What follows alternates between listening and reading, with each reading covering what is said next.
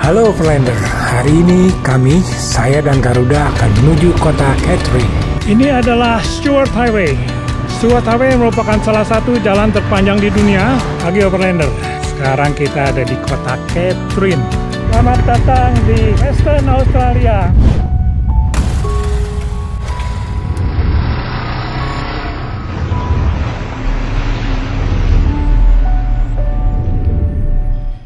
Halo Overlander, bertemu lagi dengan saya, Jeffrey Polnaya. Sebelum kita lanjut, untuk kawan-kawan yang belum subscribe, yuk kita subscribe dulu. Tentunya agar channel ini semakin berkembang dan dapat memberikan yang terbaik buat kalian.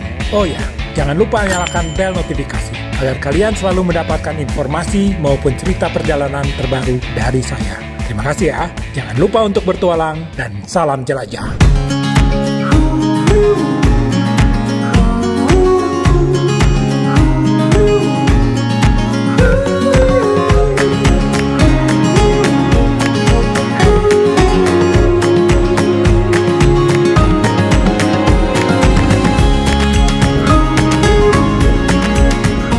Overlander, pagi ini saya dan Garuda berada di Lake Argyle, Australia Barat. Danau buatan atau waduk ini dibuat dengan membendung sungai Ort atau Ort River dan merupakan danau buatan terbesar kedua di Australia.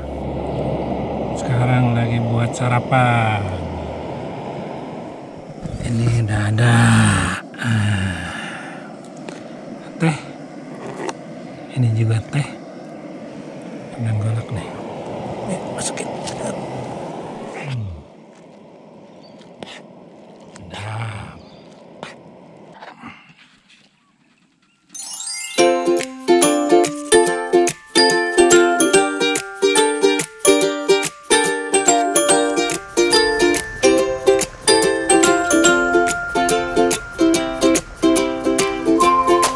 Halo Perlander. Tadi Garuda kehabisan aki karena mungkin semalam dipakai ngecas macem-macem. Terus saya ditolongin. Oh, mobilnya recharge petroleum. Dan orang tersebut adalah Nev. Ah, hi Nev. Nice Hi. to meet you. How are you? Yeah. And thanks for a car. Thanks for helping me before. Anytime, anytime. Willing to help out. Ya, nah tuh dia punya Equatorite. Yes, ya. Itu dikasih kartu lama Nep. Juga dikasih kartu bensin. Jadi kartu bensin itu kalau kita sweep di pom bensinnya BP gratis. Lumayan 50 dolar. Eh, jadi thanks to Nep. Thanks a lot. Nep. No worries. Yeah, you make my day. anytime. Yeah, Good yeah. help. Oke. Good thank you. help. Thank you.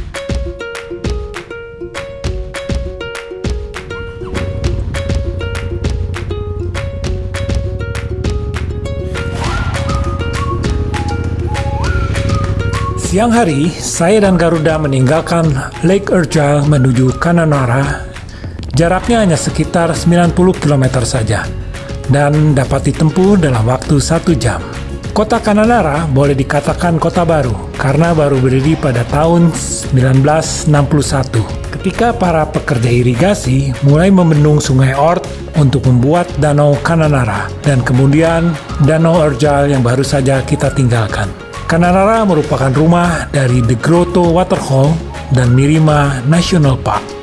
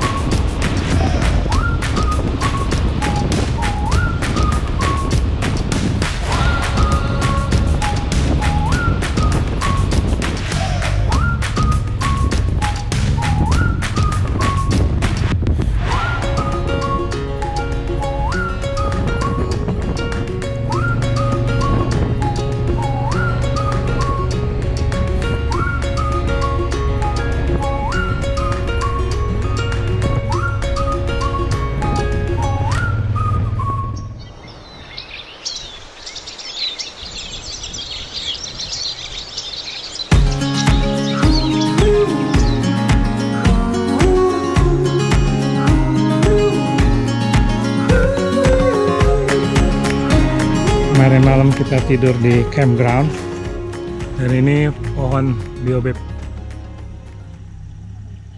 yang banyak di Afrika yang terkenal.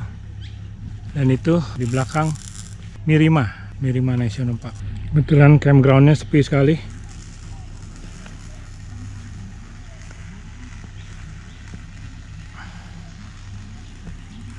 Hanya ada beberapa campers. Nah ini fasilitasnya ya. Kalau kita mungkin dapur umum namanya. Ah ini dapur umum. Kalau campnya rame ini rame. Sini ada kulkas, kulkasnya ada 6 tuh. Nah, semua makanan dan minuman harus di plastik, diberi nama site-nya, tanggalnya, dan kapan dimasukin. Karena tiap minggu dibersihin. Yang nggak ada namanya dibuang. Nah, ini punya saya nih. Nah, berhubung sepi nggak dikasih nama. Ini ada microwave. Terus kalau ada yang mau barbecue, disiapin. Gasnya juga udah ada. Ini juga barbecue, barbecue nggak satu jadi. Ada yang mau masak biasa juga bisa.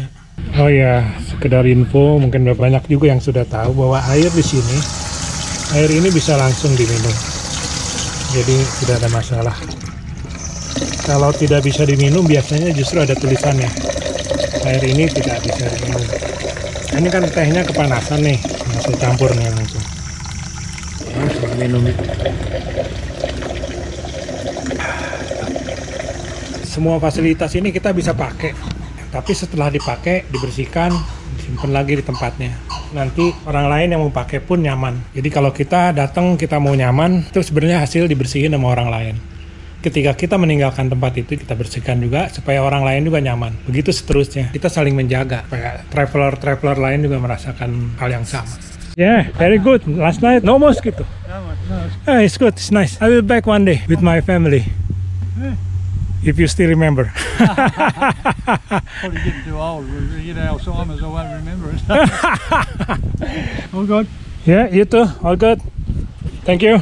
Yeah. Yeah. See you again perhaps one day. Yeah, see you again. Yeah, thank you. Itu Tim. Tim adalah pemilik dari dari campground ini. Umurnya sudah 74. Dia sebenarnya disuruh pensiun. Tapi dia memilih untuk tetap aktif. Hari ini saya dan Garuda meninggalkan Kananara. Seperti hari-hari sebelumnya, sejujurnya saya belum memutuskan di mana akan menginap malam ini. Kita nikmati saja ya.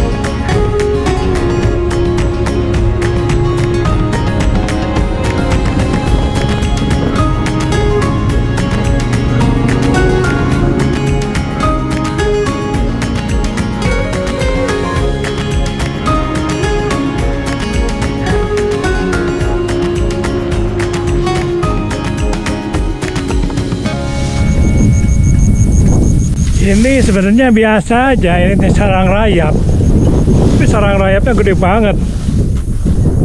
Oh. Dan banyak.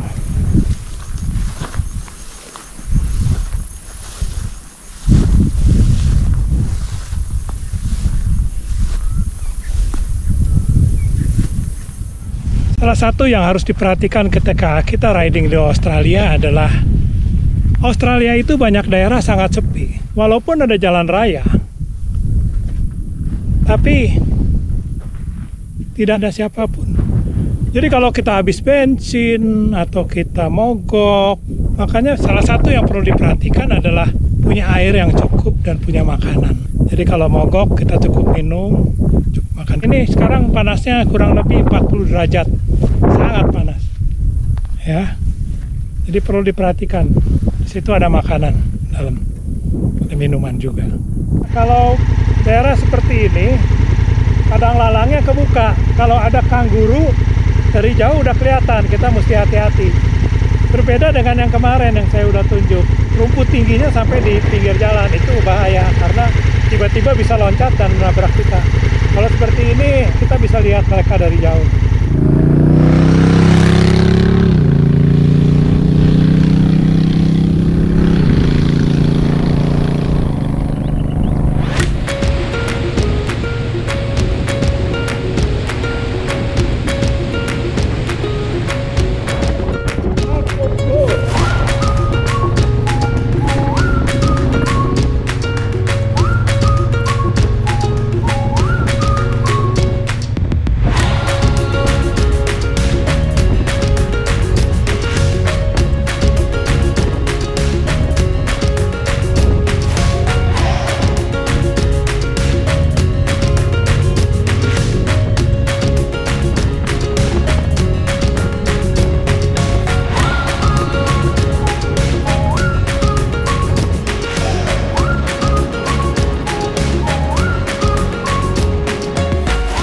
Ya, banyak sekali jalan di Australia seperti ini. Betul-betul tidak ada orang. Jalan yang ada aspal aja sering kali kita ketemu mobil mungkin dalam satu jam hanya satu atau dua. Apalagi di jalan seperti ini. Benar-benar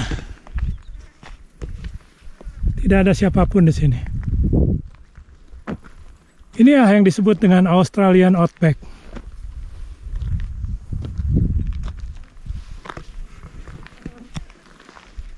Di tempat seperti ini kita harus berhati-hati ya. Jangan sampai jatuh. Kalau jatuh berat untuk naikinnya. Harus turunin barang dan panas. Ini panas saja menguras energi.